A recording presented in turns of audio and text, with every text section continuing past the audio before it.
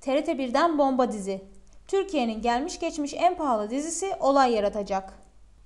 TRT1 bomba gibi bir diziye başladı. Seti gören hayran kalıyor.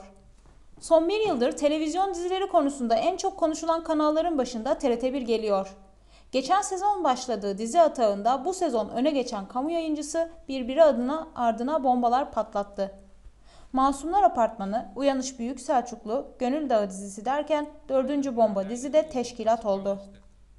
Uzun bir süredir hazırlıkları yapılan dizi öyle sıradan bir yapım olmayacak. Seti gören herkesin ağzı açık kalıyor.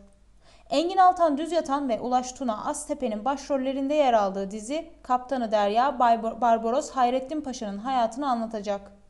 Dizinin yoğun geçen hazırlıklarının ardından çekimlere çok yaklaşıldı. Barbaros dizisinin setini gören gazeteci Birsen Altuntaş da gördüklerine inanamadı. Es Film tarafından muhteşem bir atmosfer yaratılmış.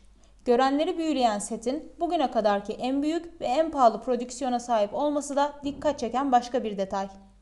Anlaşılan TRT1 bu dizi için kesenin ağzını açmış ve ortaya da muhteşem bir hikaye çıkması hedefleniyor.